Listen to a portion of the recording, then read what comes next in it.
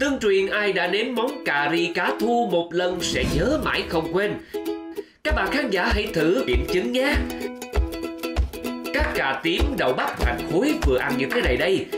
Tiếp tục cắt cá thu thành từng lát mỏng, chiên sơ trong chảo ngập dầu cho thịt cá vừa săn và ngọt. Đừng quên chiên sơ cà tím đậu bắp bạn nhé. Phi thật thơm quế, hồi, đậu khấu và trút cà tím, đậu bắp thành tím vào sốt thật đều tay. Thêm ít nước và bột cà ri, bột ớt. Nhẹ nhàng cho cá thu vào nước dùng. Khi nồi cà ri bắt đầu sôi liu riu, thêm vào nước me và nêm nếm thật vừa ăn. Điểm mấu chốt của món ăn cà ri cá thu là nước cốt dừa. Hãy nhìn xem những thứ cá thu thấm đậm gia vị, hòa cái chua chua của nước me, cay cay và thơm nức mũi này đây.